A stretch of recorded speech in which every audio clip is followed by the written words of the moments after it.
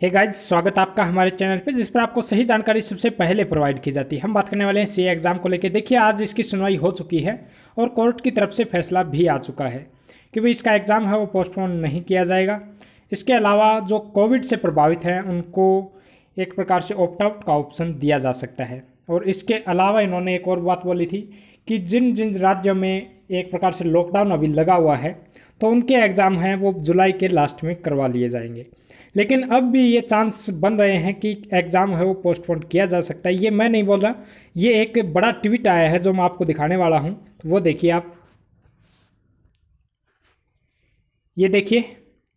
मैं आपको दो लोगों के ट्वीट दिखाऊँगा। पहले तो ये देखिए जो C S M Ashutosh, Lata हैं, इनके जो ट्वीट है, इन्होंने बोला कि I am waiting for official outcome not able to say anything as of now please wait for some time और ये इन्होंने अभी अभी ट्वीट किया है मतलब बारह पंद्रह मिनट पहले इन्होंने ये ट्वीट किया है।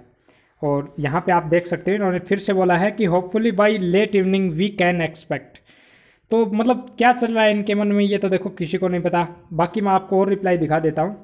इसमें क्या रखा है? When can we expect the official notification in this regard only four days left for exam and still no clarity तो देखिए, आगे और देख लीजिए कि सात तो बज गए। वर्किंग आवर्स में डालना चाहिए। ये मतलब क्या है वही आप देख सकते हो। कुछ ऐसा हो जो सभी स्टूडेंट के लिए बेनिफिशियल हो। और we know sir no good news और एनी रिलीफ मतलब बच्चों को तो ये नहीं लग रहा कि भी कुछ मतलब बढ़िया उनके लिए आ सकता है, कोई पॉजिटिव न्यूज़ उनके लिए आ सकती है, लेकिन ये जो सर हैं, इनको ये लग रहा है कि कोई भी मतलब पॉजिटिव न्यूज़ है, वो शाम तक आ सकती है। एक चीज़ मैं आपको और दिखा देता हूँ, वो और देख लीजिए। ये देखिए जो एडवोकेट अनुभा श्रीवास्तव जी, इन्होंने एक ट्वीट किया है अभी, कि ए सी स्टूडेंट इन्होंने बताया कि एक कोई सी स्टूडेंट है।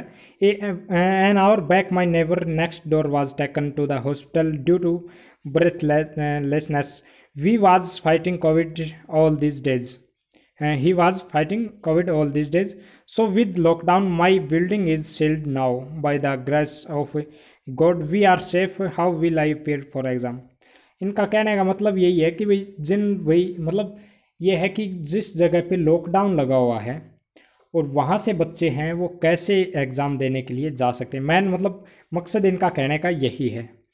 तो ये चीज़ है वो आईसीआई को सोचनी चाहिए। I hope will provide out out. तो ये इनकी तरफ़ से एक बड़ा ट्वीट आया है। देखते हैं, शाम तक कुछ नया आने वाला है तो बाकी जैसे ही अपडेट आएगी, तुरंत आपको इतला कर दिया जाएगा।